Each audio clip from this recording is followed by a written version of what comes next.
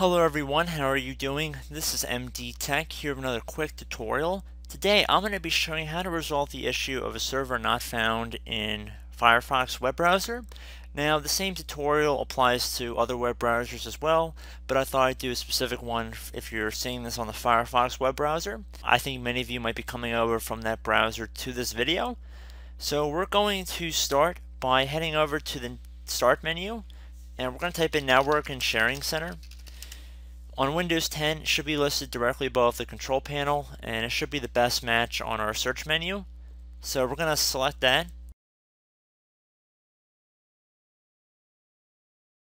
So whatever your connection is selected, it probably will not say Ethernet in most of your cases. It probably will say some sort of Wi-Fi connection here. It probably it might say local area connection or something like that. You want to select that.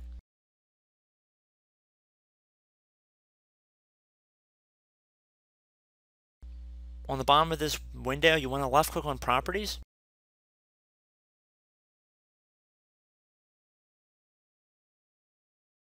Left click on Internet Protocol version 4, TCP slash IPv4, and then left click on Properties.